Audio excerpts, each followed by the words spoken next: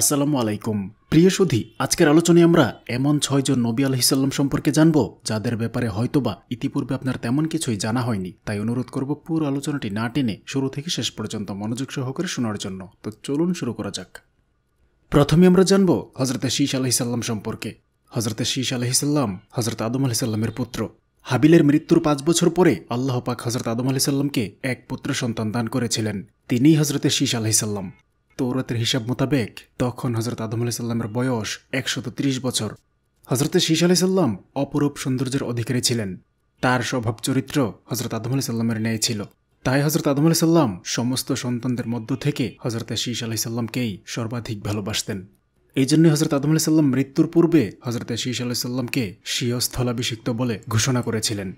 হজরতে শীষ আলাইসাল্লাম অধিকাংশ সময় হজরত আদম আলাইসাল্লামের নিকট থেকে ভেস্তের বিভিন্ন বস্তুর বিভিন্ন অবস্থায় বর্ণনা শুনতেন এবং আসমান হতে অবতীর্ণ গ্রন্থের মর্মার্থ জিজ্ঞেস করতেন। অনেক সময় মানুষের সংস্পর্শ বর্জন করে নির্জন স্থানে গিয়ে জিকির ও এবাদতে মশগুল থাকতেন। স্বীয় সংশোধনের দিকে দৃষ্টি রাখতেন। হজরত শীষ আলাইসাল্লামের যুগে বনি আদম দুই ভাগে বিভক্ত হয়ে পড়েছিল। কতক লোক হজরত শীষ আলাইসাল্লামের অনুসরণ করত আর কতক লোক কাবিলের সন্তানাদের অনুসরণ করত। হজরত শীষ আলাইসাল্লাম কাবিলের অনুসারীদেরকে সৎ পথে আনার জন্য অনেক বোঝালেন। কিছু লোক তার উপদেশ শুনে সঠিক পথে আসলো। আবার কিছু লোক নাফরমানিতে লিপ্ত রইল। হজরত শীষ আলাইসাল্লাম নয়শত বারো বছর জীবিত ছিলেন। হজরত নূহ আলাইসাল্লামের যুগে মহাপ্লাবনে হজরত আদম আলাইসাল্লামের সমস্ত বংশধর ধ্বংস হয়েছিল। একমাত্র হজরত শীষ আলাইসাল্লামের বংশধরই জীবিত ছিল। এই জন্য পরবর্তী সমস্ত মানুষ তারই বংশধর।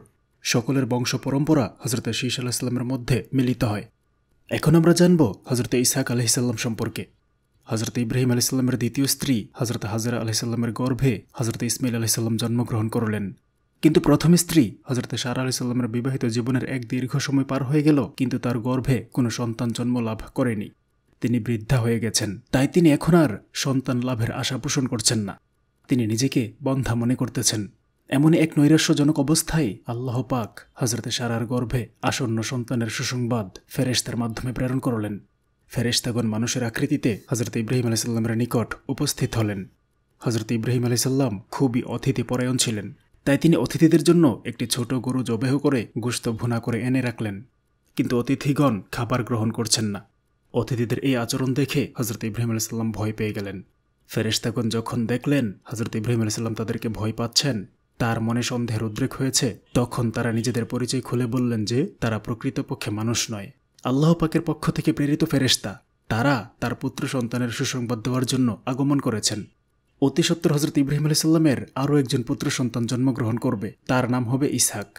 হজরত সারা আলাইসাল্লাম পর্দার আড়ালে থেকে তাদের আলাপ আলোচনা শুনতেছিলেন তিনি বুঝলেন তারা মানুষ নয়, আল্লাহর ফেরেস্তা তাই তিনি বলে উঠলেন, আমি বৃদ্ধা, আর আমার স্বামীও বৃদ্ধ, তাই আমাদের সন্তান হবে কীভাবে?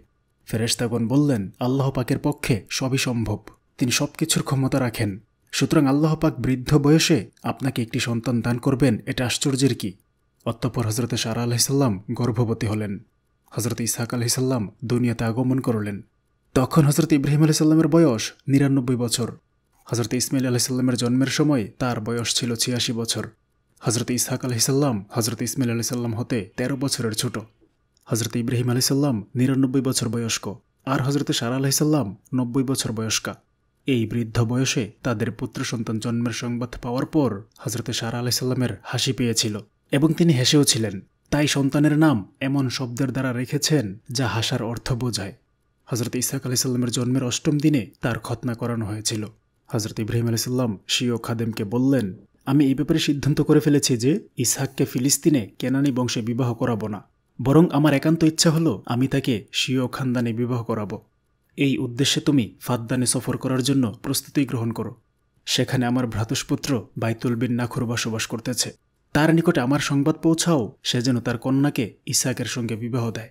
সে যদি এই প্রস্তাবে সম্মত হয়, তাহলে তাকে এই কথাও বলে দিবে যে আমি ইসহাককে দূরে রাখতে চাই না। সুতরাং সে যেন তার কন্যাকে তোমার সঙ্গে এখানে পাঠিয়ে দেয়।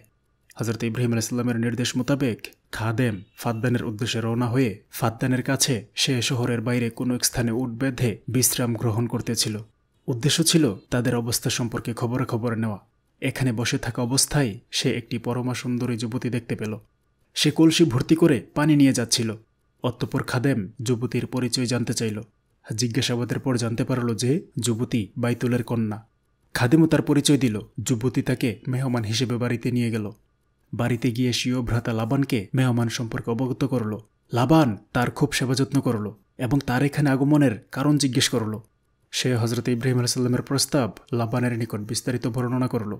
লাবান এই প্রস্তাব শুনে খুব খুশি হল এবং তার পিতার নিকট গিয়ে বর্ণনা করল। বাইতুল বিন নাখর পথের প্রয়োজনীয় সামগ্রী সাথে দিয়ে স্বীয় কন্যা রুফকাকে হজরত ইব্রাহিম আলাইসাল্লামের খাদেমের সঙ্গে ফিলিস্তিনে পাঠিয়ে দিলেন।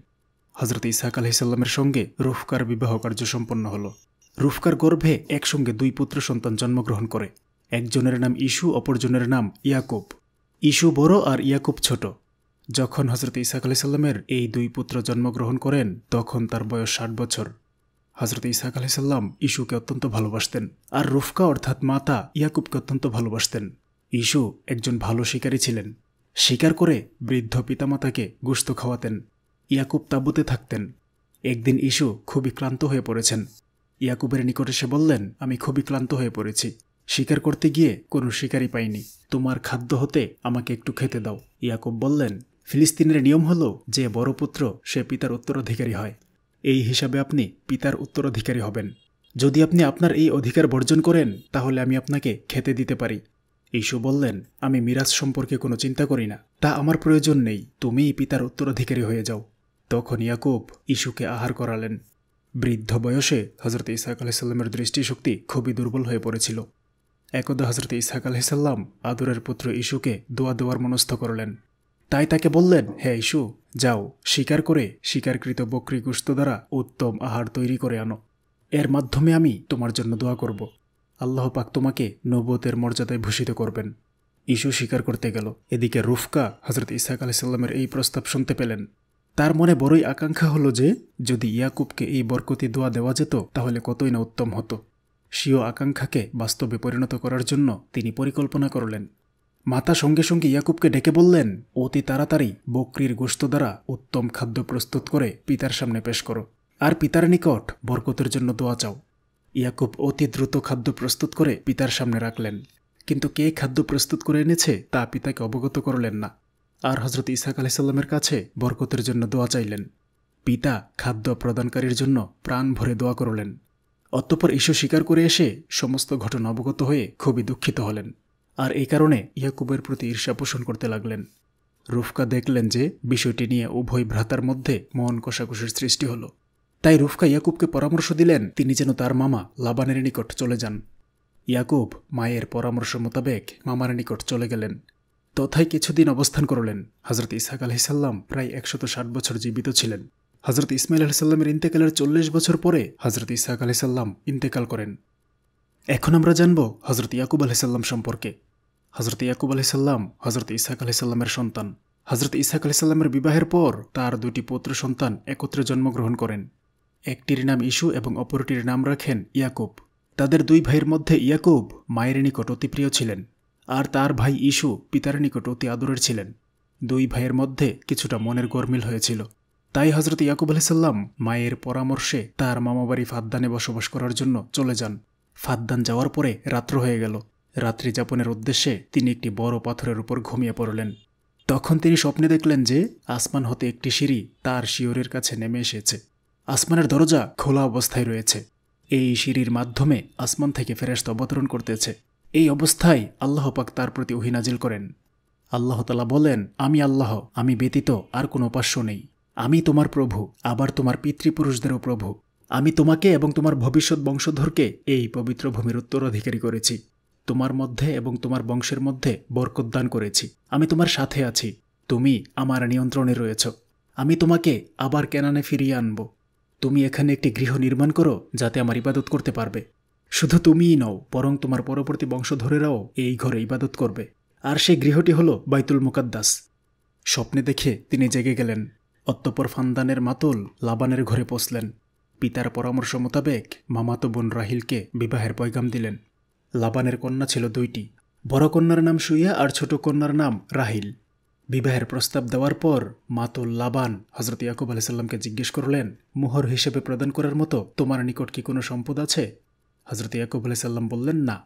লাবান বললেন, তাহলে তুমি দশ বছর পর্যন্ত আমার বাড়িতে কাজকর্ম করবে। এটা আমার কন্যার মোহর হিসেবে গণ্য হবে।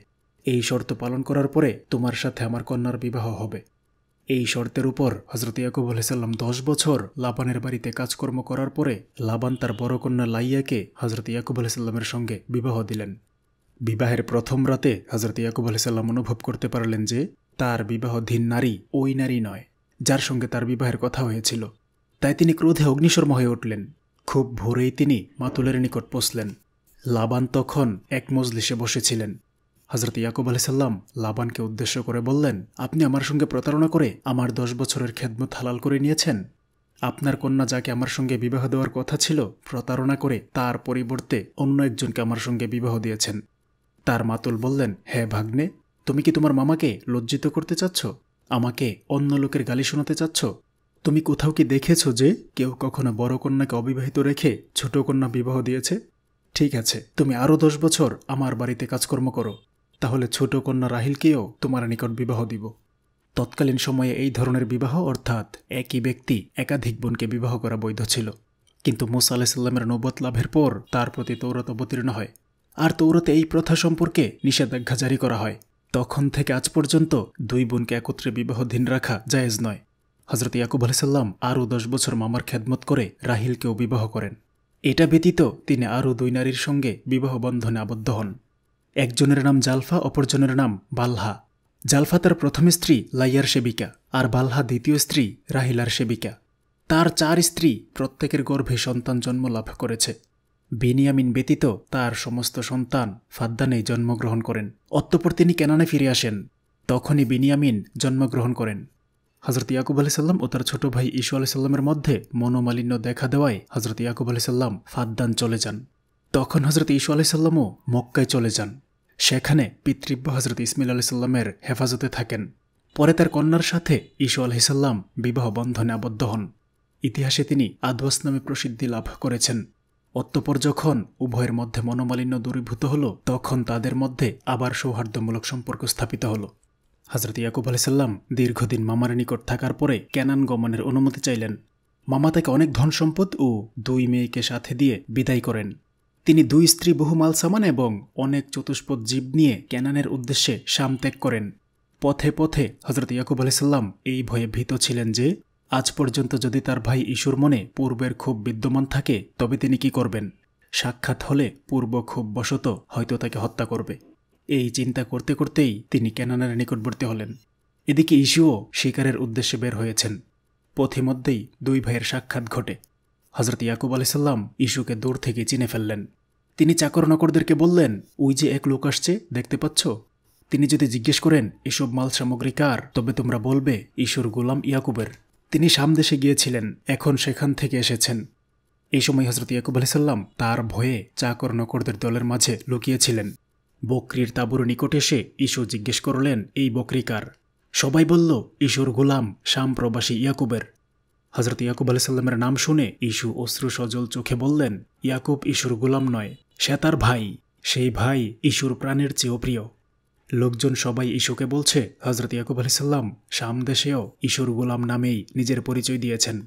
হজরত ইয়াকুব আলাইসাল্লাম দূর থেকে ভ্রাতা ইশুকে অস্ত্র সজল চোখে দেখতে পেয়ে দৌড়ে এসে তাকে জড়িয়ে ধরেন। দুই ভাই পরস্পরকে জড়িয়ে ধরে সজোরে কাঁদতে থাকেন। সেই দিন সেখানে যাত্রা বিরতি করে পরের দিন হজরত ইয়াকুব আলাইসাল্লাম স্ত্রী সন্তানাদি ও চাকর নকরদের সহ বাড়িতে পৌঁছেন। ক্যানান থেকে আসার পরে রাহিলের গর্ভে আরেক পুত্র জন্মগ্রহণ করেন। তার নাম রাখা হয় বিনিয়ামিন। বিনিয়ামিনের জন্মের পর তার মা রাহিলা ইন্তেকাল করেন। তখন তার খালা লাইয়া তাকে লালন পালন করেন। তিনি নিজের সন্তানদের এবং ইউসুফের চেয়েও বিনিয়ামিনকে বেশি স্নেহ করতেন। বড় পুত্র সন্তান জন্ম নেওয়ার পর আল্লাহ পাক হজরত ইয়াকুব আলাইসাল্লামকে নবোধ দান করেন। ক্যানানের অনেক লোক তার নবতের উপর ইমান এনে সৎপথ প্রাপ্ত হন। এদিকে ইস্যু যখন ইয়াকুবের নবত লাভের নিশ্চিত প্রমাণ প্রাপ্ত হন, তখন দুই ভাই এক স্থানে বসবাস করার চিন্তা পরিহার করেন। তাই ইস্যু ভাই ইয়াকুবকে বললেন, ভাই, দীর্ঘদিন ক্যানানে বসবাস করেছি। তুমি অনেক দিন প্রবাসে ছিলে। এখন তুমি এই এলাকার জন্য আল্লাহ পাকের মনোনীত নবী। সুতরাং তুমি এখানেই থাকো। আমি অন্য কোথাও গিয়ে বসবাস করব। এই সময় ইস্যুর সন্তানাদি ও তাদের অধনস্থ বংশধরের সংখ্যা অনেক ছিল। তারা বিভিন্ন অঞ্চলে ছড়িয়ে পড়েন। ইস্যুর এক ছেলের নাম ছিল রুম। তিনি রুমকে নিয়ে বর্তমান যুগের রুম এলাকায় এসে বসবাস করতে থাকেন। রুমের নামানুসারেই এই শহরের নামকরণ হয়। ইসু রুমেই ইন্তেকাল করেন। হজরত ইয়াকুব আলাইসাল্লামের সন্তানের সংখ্যা ছিল বারো জন। লাইয়ার গর্ভে জন্মলাভ করেন রাতবিন, শামন, লাভি, ইয়াহুদ ওয়াইসাকা ও ফুলবুন। রাহিলের গর্ভে জন্মলাভ করেন হজরত ইউসুফ আলাইসাল্লাম আর বিনিয়ামিন। বালহার গর্ভে জন্মলাভ করেন ডান আর নফতালি। আর জালহার গর্ভে জন্মলাভ করেন জাদ ও আশারি। হজরত ইউসুফ আলাইসাল্লাম মিশরের বাদশাহ হওয়ার কিছুদিন পরে পূর্ববর্তী বাদশাহ রাইহান মৃত্যুবরণ করেন। তার কিছুদিন পর হঠাৎ একদিন ফেরেস্তা জিব্রিল আলাইসাল্লাম তাশরিফ এনে হজরত ইয়াকুব আলাইসাল্লামকে বললেন, হে আল্লাহর নবী, আপনি দুনিয়াতে এসে কিছুদিন খুবই কষ্ট ভোগ করেছেন, যেই দুঃখের কোনো সীমা নেই। কিন্তু তার পরবর্তী সময়ে আল্লাহ পাক আবার আপনাকে এমন খুশি করলেন যারও কোনো সীমা নেই। আপনার সম্মুখেই আল্লাহ পাক আপনার পুত্র হজরত ইউসুফ আলাইসাল্লামকে নবতির সঙ্গে মিশর রাজ্যের বাদশাহীও দান করলেন। আর তারই আহ্বান এবং সুব্যবস্থাপনায় আপনার পরিবার পরিজনের সকলেরই মিশরের রাজধানী নগরের বুকে স্থায়ী বসবাসের ব্যবস্থা হয়ে গেল। সকলেই পরম সুখ স্বাচ্ছন্দ্যে বসবাস করতেছেন। তবে আর আমি আল্লাহর পক্ষ থেকে প্রেরিত হয়েছি। আল্লাহর ইচ্ছা এই যে কেনানে আপনার মৃত্যু হবে। সুতরাং আপনি অতি সত্বর কেনানে চলে যান। ফেরেস্তা জিবরিল আলি সাল্লামের সতর্কীকরণ বাণীর কথা হজরত ইয়াকুব আলি সাল্লাম তার পুত্র হজরত ইউসুফ আলি সাল্লাম এবং অন্যান্য পুত্রদের নিকট ব্যক্ত করলেন। তারা সকলেই ভবিষ্যৎ পিতৃসুখের আশঙ্কায় ব্যাকুল হয়ে পড়লেন। হজরত ইয়াকুব আলি সাল্লাম তাদেরকে নানারূপ প্রবোধ এবং সান্ত্বনার বাণী শুনিয়ে একটি উটের পিঠে আরোহণ করে ক্যানানের অভিমুখে যাত্রা করলেন। যাত্রাকালে স্ত্রী, সন্তান, সন্ততিগণ নানাভাবে বিলাপাদি করে কাঁদতে কাঁদতে তাকে বিদায় দিলেন। পার্থিব জীবনে এটাই তাদের শেষ সাক্ষাৎ। তাই বিদায়কালীন হজরত ইয়াকুব আলাইসাল্লামের শেষ বাণী এই ছিল, তোমরা সকলে পরস্পরে মিলেমিশে থেকো এবং প্রতিপালক আল্লাহ পাককে খুশি করে চলিও। দুনিয়াতে তোমাদের সাথে এটাই আমার শেষ সাক্ষাৎ। আল্লাহ পাক চাইলে আবার বেহেস্তের মধ্যে সাক্ষাৎ হবে ইনশা আল্লাহ হজরত ইয়াকুব আলাইসাল্লাম ক্যানান পৌঁছে প্রথমেই পিতামাতা ও দাদা দাদির কবরস্থানে পৌঁছেন এবং তাদের কবর জিয়ারত করেন। জিয়ারতকালে তার কান্নায় দুই চক্ষু হতে অশ্রুর ধারা প্রবাহিত হল। তিনি কবরস্থানে কাঁদতে কাঁদতে শুয়ে পড়লেন এবং হুশ হারিয়ে ফেলেন। দীর্ঘ সময় অতিবাহিত হওয়া সত্ত্বেও তিনি আর জাগ্রত হলেন না। এই অবস্থায় তিনি ঘুমিয়ে পড়লেন। ঘুমের ঘুরে তিনি স্বপ্নে দেখলেন হজরত ইব্রাহিম আলাইসাল্লাম বেহেস্তের অতি মনোরম আসনে উপবিষ্ট। এবং ইসমাইল আলাইসাল্লাম ও ইসহাক আলাইসাল্লাম তার দুই পার্শ্বে বসে আছেন। তাকে দেখে হজরত ইব্রাহিম আলাইসাল্লাম বললেন, ইয়াকুব, আমরা তোমার অপেক্ষায় বসে আছি, তুমি শীঘ্রই চলে আসো। এমন সময় তার নিদ্রাভঙ্গ হল। তখন তিনি বুঝতে পারলেন তার অন্তিম সময় অত্যাসন্ন। তখনই তিনি মিশরে তার পুত্রগণের নিকট দূত মারফত খবর পাঠালেন যে, আমি মহান প্রতিপালকের আহ্বানে দুনিয়া পরিত্যাগ করে চললাম। মিশরে পুত্রদের নিকট এরূপ খবর পাঠিয়ে তিনি পুনরায় উক্ত কবরস্থানে গিয়ে একটি নতুন খননকৃত কবর দেখতে পেলেন। তা পরিষ্কার পরিচ্ছন্ন, সুন্দর সজ্জিত একটি মনোরম কক্ষের মতো মনে হচ্ছিল। তার ভেতর হতে মনোমুগ্ধকর সুঘ্রাণ বের হচ্ছিল। কবরটির পার্শ্বে এক প্রশস্ত চেহারা বিশিষ্ট লোক দেখে হজরত ইয়াকুব আলাইসাল্লাম তাকে জিজ্ঞেস করলেন, জনাব, বলুন তো, এই কবরটি কার জন্য নির্ধারিত? লোকটি উত্তর দিলেন, এটি মহান আল্লাহ পাকের অতি প্রিয় এক বিশিষ্ট নেককার বান্দার জন্য নির্ধারিত। তখন হজরত ইয়াকুব আলাইসাল্লাম আল্লাহ পাকের দরবারে আরজ করলেন, হে আল্লাহ, আপনি এই মুবারক কবরটি আমার ঠিকানা নির্দিষ্ট করুন। হজরত ইয়াকুব আলাইসাল্লামের দোয়া আল্লাহ পাকের দরবারে মঞ্জুর হলো এবং এক অদৃশ্য আওয়াজ আসলো, হে ইয়াকুব, তোমার জন্য এটা নির্দিষ্ট করলাম, তুমি এর মধ্যেই অবস্থান করবে। ঠিক সেই মুহূর্তে আজরাইল আলাইসাল্লাম সেখানে তাশরিফ এনে হজরত ইয়াকুব আলাইসাল্লামকে সালাম দিলেন। হজরত ইয়াকুব আলাইসাল্লাম বললেন, আপনি যদি আমার যান কবজ করার জন্য এসে থাকেন, তবে আমার একটি অনুরোধ রাখবেন। খুব আরামের সাথে আমার যান কবজ করবেন। আজরাইল আলাইসাল্লাম হজরত ইয়াকুব আলাইসাল্লামের অনুরোধ রক্ষা করলেন। হজরত ইয়াকুব আলাইসাল্লামের যান কবচ করার সঙ্গে সঙ্গে ফেরেস্তা জিব্রিল আলাইসাল্লাম অন্যান্য বহু ফেরেস্তা নিয়ে হাজির হলেন এবং তার গোসল ও দাফন কাফনের কাজ সমাধা করে গেলেন। হজরত ইয়াকুব আলাইসাল্লামের ইন্তেকাল সম্পর্কে উল্লেখিত বর্ণনা ছাড়া আরও একটি বর্ণনা এইরূপ যে, তিনি একশত ছেচল্লিশ, মতান্তরে একশত পঁয়তাল্লিশ, আবার কারও কারও মতে দুইশত বছর জীবন ধারণ করে মিশর দেশেই প্রাণত্যাগ করেন। কিন্তু হজরত ইউসুফ আলাইসাল্লাম, পিতা হজরত ইয়াকুব আলাইসাল্লামকে মিশরে দাফন করতে অনিচ্ছা প্রকাশ করেন। তিনি তার দাদা পরদাদা নবীদের রোজস্ত সামদেশে তাকে দাফন করতে মনস্থ করলেন এবং সেই অনুসারে তিনি কাঠের বক্স তৈরি করে মৃত পিতার লাশ, গুসল ও কাফন পরিয়ে বক্সের ভেতরে রেখে দিলেন। অতঃপর তিনি বেশ কিছু লোককে অসিয়ত করলেন যে, তোমরা নবীর লাশ সামদেশে নিয়ে তথাকার হারান নামক মৌজায়, যেখানে হজরত ইব্রাহিম আলাইসাল্লাম ইসমাইল আলাইসাল্লাম ও ইসহাক আলাইসাল্লাম প্রমুখ নবীদের রোজা অবস্থিত সেখানে দাফন করে আসবে। ঘটনাক্রমে ঠিক একই সময় হজরত ইয়াকুব আলাইসাল্লামের জ্যেষ্ঠ ভাই হজরত ইসু আলাইসাল্লামও রোমে ইন্তেকাল করেন। হজরত ইয়াকুব আলাইসাল্লামের লাশ মুবারক নিয়ে লোকজন যখন মিশর হতে সামদেশে পৌঁছলেন, ঠিক সেই মুহূর্তে রুম হতে লোকজন হজরত ইসু আলাইসাল্লামের লাশ নিয়েও সেখানে পৌঁছলেন। তখন উভয় পক্ষের লোকগণ এই ঘটনার মধ্যে আল্লাহ পাকের কোনো গভীর রহস্য নিহিত আছে মনে করে সম্মিলিতভাবে পরামর্শক্রমে সহোদর নবী ভ্রাতাদয়কে পাশাপাশি দাফন করলেন। এখন আমরা জানব হজরতে হেজকিল আলহিসাল্লাম সম্পর্কে। হজরত হেজকিল আলহিসাল্লাম বশির কাহিনের পুত্র। বনি ইসরায়েলদের ভাষায় খুব শ্রেষ্ঠ আলেম ও পীরে কামেলকে কাহিন বলা হয়। তার নাম হেজকিল, হিব্রু ভাষায় হেজকি শব্দের অর্থ কুদরত বা শক্তি। আর ইল অর্থ আল্লাহ, অতএব আরবি ভাষায় এর অর্থ কুদরতুল্লাহ। কথিত আছে যে, শৈশবকালেই হজরতে খেজকিল আলহিসাল্লাম পিতৃহারা হন। যখন তার নবোধ প্রাপ্তির সময় নিকটবর্তী হল, তখন তার মাতা খুবই বৃদ্ধা ও দুর্বল হয়ে পড়েছিলেন। সুতরাং ইসরায়েলদের মধ্যে ইবনুল আজুস অর্থাৎ বুরির পুত্র উপাধিতে তিনি খ্যাত ছিলেন। তাফসিরের কিতাবসমূহে হজরত আবদুল্লেবন আব্বাস এবং অন্যান্য কতিপয় সাহাবাইকারাম হতে এই রেওয়ায়তটি বর্ণিত আছে যে, বনি ইসরায়েলদের একটি বিরাট দলকে তাদের পৈগম্বর হজরত হেজকিল আলহিসাল্লাম যখন বললেন যে, শত্রুপক্ষের সাথে যুদ্ধ করার জন্য প্রস্তুত হও এবং আল্লাহ পাকের বাণীকে উন্নত করার কর্তব্য পালন করো। তখন বনি ইসরায়েলরা মৃত্যুর ভয়ে পলায়ন করল। এত দূরে চলে গেল যে তাদের মনে বিশ্বাস জন্মিল যে এখন তারা জিহাদ থেকে আত্মরক্ষা করে মৃত্যুর হাত থেকে রক্ষা পেয়েছে। তারা সেই দূরবর্তী এলাকায় এক উপত্যকা ভূমিতে বসবাস করতে লাগল। বনি ইসরায়েলদের এই পলায়ন কার্যকে আল্লাহ তালার আদেশ অমান্য করা মনে করে পয়গম্বর হেজকিল আলহিসাল্লাম অসন্তুষ্ট হয়ে আল্লাহ পাকের দরবারে তাদের জন্য বদোয়া করলেন। আল্লাহ পাক নবীর বদোয়ায় তাদের প্রতি গজব স্বরূপ দুইজন ফেরেস্তা প্রেরণ করলেন। ফেরেস্তাদয় এসে পাহাড় ঘেরা এই ময়দানের দুই পার্শ্বে দণ্ডায়মান হয়ে এত জোরে আওয়াজ দিল যে নিমিষের মধ্যে কোলাহলপূর্ণ প্রান্তর মৃত্যুপুরীতে পরিণত হয়ে গেল। একজনও বাঁচতে পারল না। অত্যপর আশপাশের লোকজন এই ঘটনা সম্পর্কে অবগত হয়ে ময়দানে পৌঁছে আল্লাহর গজব দেখে হতবাক হয়ে গেল। তারা মৃত ব্যক্তিদের দাফন কাফনের কথা ভাবলেও এত লোকের দাফন কাফন সম্পন্ন করা অসম্ভব ব্যাপার। তাই তারা মৃতদেহগুলোর চারপাশে একটি উঁচু দেয়াল প্রস্তুত করে দিল। তাদের মৃতদেহগুলো পচে মজে গেল। শুধু তাদের হাড়গুলো সেখানে পরে রইল। এর দীর্ঘ সময় পরে হজরত হেজকিল আলাহিসাল্লাম এই স্থান দিয়ে গমন করছিলেন। দেয়ালের ভেতরে স্থানে স্থানে মানুষের জীর্ণ শীর্ণ হারসমূহ দেখে তিনি বড়ই মর্মাহত হলেন এবং তাদের জন্য আল্লাহ পাকের দরবারে দোয়া করলেন যে, হে আল্লাহ, তাদেরকে পুনরায় জীবিত করে তাদের জন্য এবং পরবর্তী লোকদের জন্য একটা দৃষ্টান্ত স্থাপন করুন, যেন তারা অসৎ পথে না চলে। আল্লাহ পাক হজরত হেজকিল আলাহিসাল্লামের দোয়া কবুল করলেন। এবং তাকে ওহির মাধ্যমে বললেন, তিনি যেন জীর্ণ শীর্ণ হারগুলোকে সম্বোধন করে বলেন হ্যাঁ জীর্ণ শীর্ণ হারসমূহ, আল্লাহ তোমাদিগকে নির্দেশ দিতেছেন, তোমরা যেন স্ব স্থানে মিলিত হয়ে যাও। হারসমূহ নবীর মুখে আল্লাহ পাকের নির্দেশ শুনতে পেয়ে সাথে সাথে স্ব স্থানে মিলিত হয়ে গেল। অতঃপর হজরত হেজকিল আলাহিসাল্লামকে পুনরায় নির্দেশ দেওয়া হলো যে, হে নবী, এবার বলুন, হে হারসমূহ, তোমরা নিজেদের গুস্ত শিরা, উপশিরা ও চামড়া পরিধান করো। এই কথা বলার সাথে সাথে হাড় সমূহের সঙ্গে গুস্ত চামড়া লেগে পরিপূর্ণ মানবদেহে পরিণত হয়ে গেল। অত্যপর হজরত হেজকিল আলাহিসাল্লামকে বলা হলো যে, এখন আপনি আত্মাসমূহকে সম্বোধন করে বলুন যে, হে রুহ সকল, আল্লাহ তোমাদেরকে নির্দেশ দিচ্ছেন যে, তোমরা যে যে দেহে ছিলে পুনরায় সে সেই দেহে প্রবেশ করো। এই নির্দেশ দেওয়ার সঙ্গে সঙ্গে মৃত দেহগুলো জীবিত হয়ে গেল।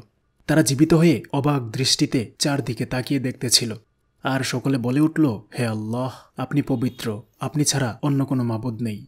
এরপর হজরত হেজকিল আলাহিসাল্লাম দীর্ঘকাল পর্যন্ত বনি ইসরায়েলদের মধ্যে আল্লাহর দিনের দাওয়াত দিয়ে ইহলোক ত্যাগ করেন।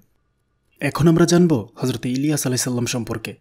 হজরত হেজকিল আলাইসাল্লামের ইন্তেকালের পর বনি ইসরায়েল কৌমের মধ্যে দীর্ঘদিন পর্যন্ত আর কোনো নবী বা রাসুলের আবির্ভাব ঘটল না। এই সময় বনি ইসরায়েলদের কিছু লোক মিশর, কিছু লোক সিরিয়া এবং অন্যান্য দেশে বসবাস করছিল। তারা প্রায় সকলেই হজরতে মুসা আলাহিসাল্লামের ধর্ম ভুলে মূর্তি পূজা শুরু করে দিয়েছিল। এই সময় বনি ইসরায়েল বংশীয় কিছু সংখ্যক আলে মোলামা যদিও খাঁটি দিন ধর্মের কথা প্রচার করছিলেন, সেই প্রচারে কোনোরূপ ফল হল না। বরং বনি ইসরায়েলদের অধিকাংশ লোকই তখন শুধু ধর্মচ্যুতই হল না, তাদের মারাত্মক আকারে নৈতিক অধপতন হয়ে গেল। বহু বনি ইসরায়েল তখন ব্যভিচারে অভ্যস্ত হয়ে পড়ল। এই সামাজিক দুরবস্থায় আল্লাহ পাক বনি ইসরায়েলদের মাঝে হজরত ইলিয়াস আলাহিসাল্লামকে নবীরূপে প্রেরণ করলেন। হজরত ইলিয়াস আলাইসাল্লাম হজরত হারুন আলাইসাল্লামের বংশধর। তিনি জর্ডানের অন্তর্ভুক্ত জাল আদ নামক স্থানে জন্মগ্রহণ করেন। হজরত ইলিয়াস আলাহিসাল্লামের সময় সিরিয়ার অধিপতি ছিল একজন মূর্তিপূজক। তার নাম ছিল আখিয়াব। তাফসির গ্রন্থে তার নাম আজব বা আখব বলে উল্লেখ করা হয়েছে। তার স্ত্রীর নাম ছিল ইজাবেল। তার স্ত্রী বাল নামক এক মূর্তির পূজা করত। এই মূর্তিটি ছিল নর, একে জোহাল ও মুস্তারি নামক এক অতুলনীয় সুন্দরী নারীর স্বামী বলে মনে করা হতো। কাইনিকি ক্যানানি মোয়ারি ও মাদায়নি গোত্রগুলো বিশেষভাবে এর পূজা করত। বাআলের পূজা প্রাচীনকাল থেকে চলে আসছিল, আর মোয়াবি ও মাদানিরা একে হজরতে মোসা আলাহি সাল্লামের জামানা থেকে পূজা করে আসছিল। সিরিয়া দেশের বিখ্যাত শহর বা আলে বাকাও এই দেবতার নামানুসারে হয়েছিল। হজরতে সোয়াইব আলাহিসাল্লাম মাদিয়ানে এই বা আলের পূজকদের হেদায়তের জন্য প্রেরিত হয়েছিলেন। এই সম্পর্কে পবিত্র কোরআন উল্লেখ করা হয়েছে, আর নিঃসন্দেহে ইলিয়াস ছিলেন রাসুলদের মধ্যে একজন। স্মরণ করো, যখন তিনি শিয়া সম্প্রদায়কে বলেছিলেন, তোমরা কি সাবধান হবে না? তোমরা কি বা আলকে ডাকবে? আর সর্বোত্তম স্রষ্টা আল্লাহকে ত্যাগ করবে? যিনি তোমাদের প্রতিপালক এবং তোমাদের পূর্বপুরুষদের প্রতিপালক? কিন্তু তারা তাকে মিথ্যাবাদী বলেছে। অতএব নিঃসন্দেহে তাদেরকে শাস্তির জন্য হাজির করা হবে। ওই সকল লোককে ছাড়া যারা আল্লাহ তালার একনিষ্ঠ বান্দা। আর আমি পরবর্তীকালে লোকদের জন্য এটা স্মরণে রেখেছি। ইলিয়াসের উপর শান্তি বর্ষিত হোক। নিঃসন্দেহে আমি নেককারদেরকে এভাবেই পুরস্কৃত করে থাকি। নিঃসন্দেহে সে আমার মমিন বান্দাদের অন্তর্ভুক্ত। সুরাসাফাত আয়াত একশত তেইশ থেকে একশত বত্রিশ। সামি বা হিব্রু ভাষায় বা আলে শব্দের অর্থ মালিক, সর্দার, হাকিম এবং রব। এজন্য আরববাসীরা স্বামীকেও বা আলে বলে থাকে। ইহুদিরা, পূর্বাঞ্চলের ইসরায়েলিরা বা আলের পূজার জন্য বিভিন্ন মৌসুমে বিরাট মজলিসের আয়োজন করত। এর জন্য বড় বড় এবাদতখানা এবং কোরবানির স্থান নির্ধারণ করা হতো। ইহুদি শ্রেষ্ঠ জ্যোতিষ পণ্ডিতগণ সুগন্ধ দ্রব্যাদির ধোয়া দিত। এবং এটার উপর নানা প্রকার সুগন্ধ দ্রব্য ছিটিয়ে দিত। কোনো কোনো সময় এটার সম্মুখে মানুষও বলি দেওয়া হতো বা আলে মূর্তিটি স্মরণনির্মিত ছিল। প্রতিটি বিশ গজ লম্বা এবং এটার চারটি মুখ ছিল। এটার সেবার জন্য চারশত সেবক নিযুক্ত ছিল। হজরত ইলিয়াস আলাইসাল্লামের জামানায় ইয়ামান ও সিরিয়ায় এই মূর্তিটি প্রিয় দেবতা ছিল। হজরত ইলিয়াস আলাইসাল্লামের কৌম এই মূর্তিটির সাথে অন্যান্য মূর্তিরও পূজা করত। হজরত ইলিয়াস আলাইসাল্লাম নবত লাভ করেই মূর্তি পূজার ঘোর বিরোধিতা শুরু করলেন এবং এর নিরর্থকতা ও নিষ্ফলতার কথা মূর্তি পূজক বাদশাগণকে ভালোভাবে উপলব্ধি করালেন। তখন বাদশাহ মূর্তি পূজা পরিত্যাগ করে হজরত ইলিয়াস আলাইসাল্লামের নিকট খাঁটি দিনের শিক্ষা গ্রহণ করলেন। অতঃপর বাদশাহ হজরত ইলিয়াস আলাইসাল্লামকেই নিজের প্রধানমন্ত্রী পদে বরণ করে তাকে উচ্চ সম্মানে ভূষিত করলেন। কিছুদিন খুব ভালোভাবে অতিবাহিত হলো, কিন্তু ইবলিশ শৈতানের এটা সহ্য হলো না। সে বাদশাকে প্রতারিত করল। ফলে বাদশাহ শয়তানের ধোকাই আবারও মূর্তি পূজা আরম্ভ করল। যে সকল লোক বাদশার সাথে সাথে মূর্তি পূজা পরিত্যাগ করে হজরত ইলিয়াস আলাইসাল্লামের ধর্ম গ্রহণ করেছিল, তারা আবার বাদশার দেখা দেখি মূর্তি পূজা আরম্ভ করে দিল। তখন হজরত ইলিয়াস আলাইসাল্লাম সকলের প্রতি মনক্ষুণ্ণ হয়ে মহান আল্লাহ পাকের দরবারে বদোয়া করলেন। ফলে সিরিয়ায় একাধারে তিন বছর পর্যন্ত বৃষ্টিপাত বন্ধ ছিল। জমিনের ফসল উৎপাদন বন্ধ হয়ে গেল। দেশের মজুতকৃত খাদ্য শেষ হয়ে গেল। সারা দেশে মারাত্মকভাবে দুর্ভিক্ষ দেখা দিল। খাদ্যের অভাবে সারা দেশের মানুষ ও মৃত্যু হল। তখন প্রজাগণ দলে দলে গিয়ে বাদশার নিকট অভিযোগ করতে লাগল, ইলিয়াসের বদোয়াই দেশে দুর্ভিক্ষ সৃষ্টি হয়েছে। এই অভিযোগের পরিপ্রেক্ষিতে বাদশাহ হুকুম দিয়ে দিল, তোমরা ইলিয়াসকে যেখানে পাও ধরে হত্যা করে ফেলো। অধিবাসীগণ বাদশার আদেশ অনুযায়ী হজরত ইলিয়াস আলি সাল্লামকে হত্যা করতে প্রস্তুত হল। হজরত ইলিয়াস আলি সাল্লাম এটা জেনেও ভয় পেলেন না। তিনি তার কর্তব্য সাধনে অটল রইলেন। এমতাবস্থায় আল্লাহ পাকের নির্দেশে হজরত ইলিয়াস আলি সাল্লাম বাদশার নিকট গিয়ে বললেন, ওহে বাদশাহ, দেশে মহা দুর্ভিক্ষ চলছে। খাদ্যাভাবে দেশের মানুষ উপস মৃত্যুবরণ করছে। এহেন দুর্দিনে তুমি কি তোমার উপাস্য দেবতার কাছে দুর্ভিক্ষ দূর করার জন্য প্রার্থনা করছ না? না করে থাকলে এ ব্যাপারে অবিলম্বে তাদের কাছে প্রার্থনা করো। যদি তাদের ক্ষমতা থাকে, তবে তো নিশ্চয়ই তোমাদের প্রার্থনাই দুর্ভিক্ষ দূর করে দিবে। আর যদি তাদের দ্বারা এই কাজ করা সম্ভব না হয়, তাহলে তোমরা আমার আল্লাহ পাকের প্রতি ইমান এনে প্রার্থনা করো। দেখবে আল্লাহ পাক দেশকে দুর্ভিক্ষের কবল থেকে সম্পূর্ণ মুক্ত করে দিবেন। তোমরা তো বলে থাকো যে তোমাদের উপাস্য বা আলের সাড়ে চারশত নবী রয়েছে। তোমরা তাদেরকে আমার সামনে উপস্থিত হয়ে বা আলের নামে কোরবানি করতে বলবে। আর আমিও আল্লাহর নামে কোরবানি করব। আকাশ থেকে আগুন এসে যার কোরবানি জ্বালিয়ে দিবে, তার দিন সত্য বলে প্রমাণিত হবে। সকলে তার প্রস্তাব মেনে নিল। বাদশাহ আলিয়াব এবং তার অনুসারীরা খুব খুশি হল। তাদের ধারণা ছিল, এবার বা আলের বিজয় হবে, আর ইলিয়াস আলি সাল্লাম পরাজয় বরণ করবে। নির্ধারিত দিনে উভয় পক্ষ কারমল পাহাড়ের পাদদেশে সমবেত হল। বা আলের মিথ্যা নবীরা শশ কোরবানি পেশ করল। সকাল থেকে দুপুর পর্যন্ত বা আলের নিকট কোরবানি কবুল করার জন্য বহু কাকুতি মিনতি করল। কিন্তু কোনো ফল হলো না, এমনকি কোনো সারা শব্দ পেল না। দুপুরের পরে হজরত ইলিয়াস আলাইসাল্লাম স্বীয় কোরবানি পেশ করলেন। সাথে সাথে আসমান থেকে আগুন এসে হজরত ইলিয়াস আলাইসাল্লামের কোরবানি জ্বালিয়ে ভস্য করে দিল। তা দেখে তখনই অনেকে সেজদায় পড়ে গেল। সকলের কাছে সত্য প্রকাশ হয়ে পড়ল। কিন্তু বা আলের মিথ্যা নবীগণ সত্য দেখতে পেয়েও হজরত ইলিয়াস আলাইসাল্লামের ধর্ম মেনে নিতে পারল না। হজরত ইলিয়াস আলাইসাল্লাম দেখলেন যে, যখন তারা সত্য অনুধাবন করেও আল্লাহকে অস্বীকার করছে, কোনো অবস্থাতেই সত্যের অনুসারী হতে সম্মত নয়, তখন তিনি তাদেরকে কাইশু নামক উপত্যকায় হত্যা করলেন। এই ঘটনার পর মুসলধারে বৃষ্টি শুরু হলো। বৃষ্টির পানিতে পুরো এলাকা ধুয়ে মুছে গেল। এতদ সত্ত্বেও বাদশাহ আবিয়াবের স্ত্রী ইসাবেলের হুশ হল না। সে হজরত ইলিয়াস আলাহিসাল্লামের প্রতি ইমান আনা তো দূরের কথা, বরং হজরত ইলিয়াস আলাহিসাল্লামের প্রাণনাশের জন্য আবার পুনরায় ষড়যন্ত্র শুরু করল। হজরত ইলিয়াস আলাইসাল্লাম বাদশাহ এবং তার স্ত্রীর গোপন ষড়যন্ত্রের কথা জানতে পেরে পুনরায় নিরাপদ আশ্রয়ে চলে গেলেন। কিছুদিন সেখানে অবস্থান করে বনি ইসরায়েলদের অবশিষ্ট লোকের আবাসভূমি ইয়াহুদায় চলে যান। সেখানে তিনি আল্লাহর দিনের প্রচার শুরু করেন। ইয়াহুদার লোকজনও বাআলের পূজায় লিপ্ত হয়েছিল। কারণ বাআল পূজার প্রবণতা ইসরায়েল হতে ইয়াহুদায়ও বিস্তার লাভ করেছিল। এমনকি ইসরায়েলের শাসনকর্তার ন্যায় ইয়াহুদার শাসনকর্তা ইয়াহুরামও বাআলের পূজা করত। হজরত ইলিয়াস আলাইসাল্লাম তাকে অনেক বোঝালেন, কিন্তু সে কোনো কথা শুনতে রাজি নয়। বা আলের পূজা পরিত্যাগ করে আল্লাহর ইবাদতে আসতে রাজি নয়। হজরত ইলিয়াস আলাইসাল্লাম শেষ পর্যন্ত তাকে বলে দিলেন যে, তোমরা যদি আমার কথা না শোনো এবং বা আলের পূজা পরিত্যাগ না করো, তাহলে তোমাদের ওপর আল্লাহ পাকের গজব নাজিল হবে। ফলে তোমরা সবাই ধ্বংস হয়ে যাবে। কিন্তু তারা তাতেও কর্ণপাত করল না। অবশেষে তারা আল্লাহ পাকের গজবে ধ্বংস হয়ে যায়। এই ঘটনার পর হজরত ইলিয়াস আলাইসাল্লাম পুনরায় ইসরায়েলে ফিরে আসেন। আর বাদশাহ আখিয়াব এবং তার পুত্রকে আল্লাহর দিনের দিকে আহ্বান করতে থাকেন। শত চেষ্টা করেও তাদেরকে বদ আমল থেকে ফিরানো সম্ভব হয়নি। বরং তারা হজরত ইলিয়াস আলাইসাল্লামের প্রতি শত্রুতা পোষণ করতে লাগল। আল্লাহ পাক তাদেরকে বিভিন্ন ধরনের ধ্বংসাত্মক রোগে আক্রান্ত করে দিলেন। অধিকন্তু বহিঃশত্রুর হামলার শিকার বানিয়ে দিলেন। রোগ শোকে জর্জরিত আর বহিঃশত্রুর দ্বারা আক্রান্ত হয়ে তারা দিশেহারা হয়ে পড়ল। এভাবে তারা ধ্বংস হয়ে পড়ল। অত্যপর আল্লাহ পাক শিও নবীকে নিজের কাছে ফিরিয়ে নিলেন। তাফসিরে মাঝহারিতে উল্লেখ আছে যে হজরত ইলিয়াস আলাইসাল্লামকে একটি অগ্নি ঘোড়ার উপর আরোহণ করিয়ে আসমানে উঠিয়ে নেওয়া হয়েছে। তিনি হজরত ইসা আলাইসাল্লামের ন্যায় এখনও জীবিত আছেন। আল্লামা সৈয়দি রহমতুল্লাহি আলহির বর্ণনা দ্বারা পরিষ্কার বোঝা যায় যে, তিনি জীবিত আছেন। হজরত কাআব আহবার রাদি আল্লাহ তাল্লাহ হতে বর্ণিত আছে যে, চারজন নবী এখনও জীবিত আছেন। দুইজন পৃথিবীতে আর দুইজন আসমানে। পৃথিবীর দুইজন হলেন হজরত খিজির আলাইসাল্লাম এবং হজরত ইলিয়াস আলাহিসাল্লাম আর আসমানের দুজন হলেন হজরত ইদ্রিস আলাইসাল্লাম আর হজরত ইসা আলাহিসাল্লাম সম্মানিত সুধী, এখন আমরা জানব আজকের আলোচনার সর্বশেষ নবী হজরত হানজাল আলহিসাল্লাম সম্পর্কে। হজরত আল ইয়াসা আলহিসাল্লামের ইন্তেকালের পর একাধারে দীর্ঘ সাতশত বছর অতীত হল। কিন্তু এই দীর্ঘকালের মধ্যে বনি ইসরায়েল কৌমে কোনো নবী প্রেরণ করলেন না। এই সময় বনি ইসরায়েলের কিছু সংখ্যক আলেম জনসাধারণের মধ্যে ওয়াজ নসিহত করে দিনের খেদমত করতেছিলেন। কিন্তু জনসাধারণ তাদের সেই ওয়াজ নসিহতের প্রতি কর্ণপাত করেনি। এই অবস্থায় সাতশত বছর অতিবাহিত হবার পর আল্লাহতালা ওই কৌমের মধ্যে হজরতে হানজাল আলহিসাল্লামকে নবীরূপে প্রেরণ করলেন।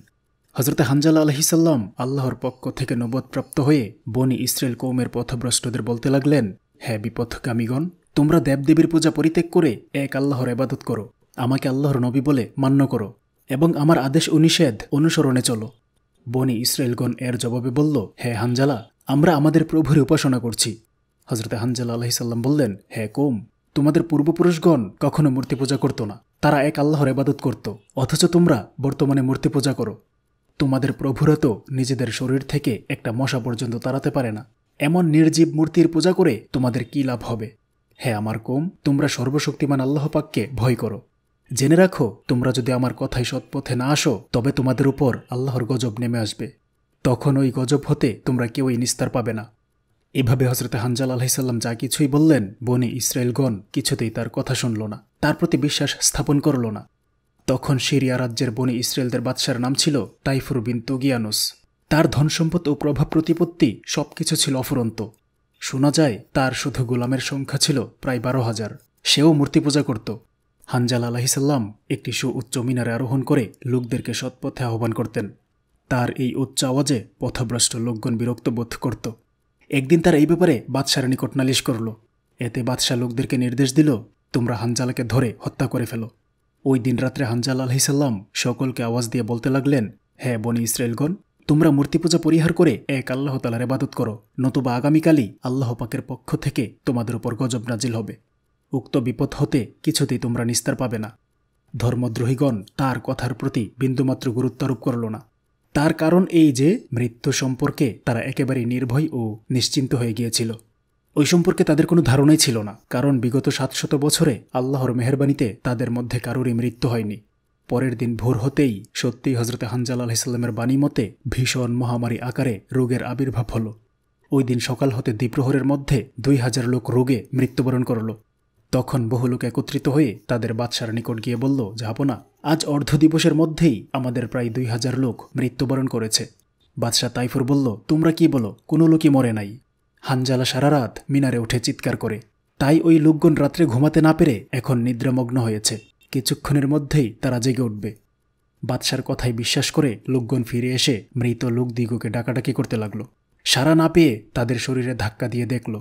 কিন্তু তারা কেউই সারা দিচ্ছে না দেখে পুনরায় তারা বাদশার নিকট গিয়ে সব কথা জানালো।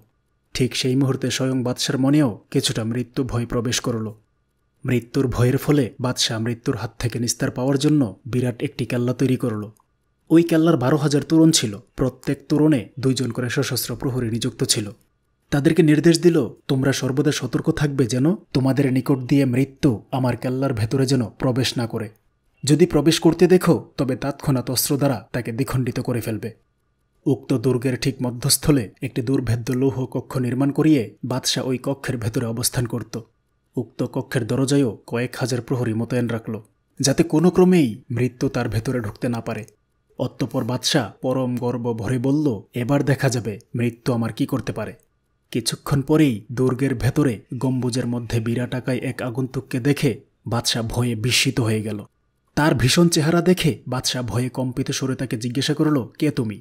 আগন্তুক একটু মুচকি হেসে বলল, আমি তোমার জম। আমার নাম মালাকুল মৌত আজরাইল। আমি সকলের যান কবচ করে থাকি। বাদশাহ কাঁপতে কাঁপতে জিজ্ঞেস করল, কি উদ্দেশ্যে তুমি এখানে আগমন করেছ? ফেরেশতা আজরাইল উত্তর দিলেন, আমি এসেছি তোমার নিকট আমার পরিচয় দিতে। অবশ্য সেই দিন বাদশার মৃত্যুর তারিখ ছিল না। ফেরেশতা আজরাইল বাদশার কাছে ওই কথাটুকু বলে চলে গেলেন। আজরাইল ফেরেশতা চলে যাবার পর অজ্ঞ বাদশাহ তার প্রহরীদেরকে বেত্রাঘাত করে কারাগারে পাঠিয়ে দিল এবং নতুন করে কয়েক গুণ বেশি প্রহরী নিযুক্ত করে নতুন প্রহরীদেরকে বলে দিল যে, সাবধান, কেউই যেন আমার কক্ষের ভেতরে আসতে না পারে। ঠিক তার পরদিনই যথাসময়ে মালাকুল মৌত আজরাইল বাদশার কক্ষে প্রবেশ করে বাদশাকে কোনো কথা বলার সুযোগ না দিয়ে তার যান কবচ করে চলে গেলেন। যাবার সময় আজরাইল এমন এক ভীষণ গগন বেদারি গর্জন করে গেলেন যাতে বাদশার সকল প্রহরী ও বারো হাজার গোলাম সকলেই মুহূর্তে প্রাণ হারালো।